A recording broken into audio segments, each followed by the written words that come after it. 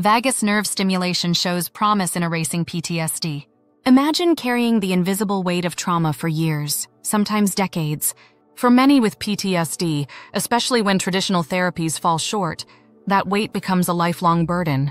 But now, for the first time, researchers may have found a way to lighten the load for good. In a groundbreaking clinical study, scientists combine the best of psychological therapy with cutting edge neuroscience.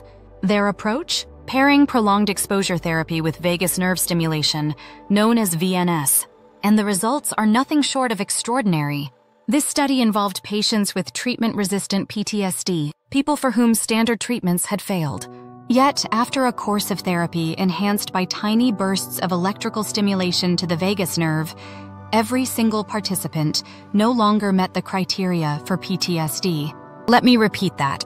100% of them lost their PTSD diagnosis, something virtually unheard of in this field. The science behind it is powerful.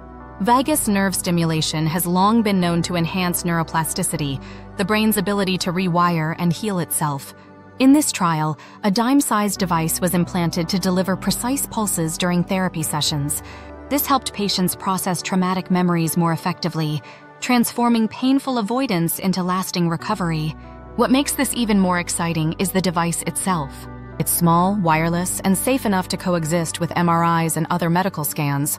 And its success in PTSD builds on a decade of VNS research, which has already improved motor recovery after strokes. Of course, this is only the beginning. The next step is a placebo controlled phase 2 trial now underway, aiming to confirm these astonishing results and push the treatment closer to FDA approval. For now, however, this study marks a hopeful turning point. PTSD is more than a combat zone affliction, it impacts millions worldwide. From survivors of violence to those grieving devastating losses, this research may finally offer them not just relief, but a real chance at freedom. Vagus nerve stimulation isn't masking symptoms, it's changing the way the brain responds to trauma. And for the first time in a long time, that's giving PTSD patients something they've been missing hope. This video is based on the research paper Vagus Nerve Stimulation Therapy for Treatment Resistant PTSD by Michael Kilgard et al. in Brain Stimulation. What do you think about this research?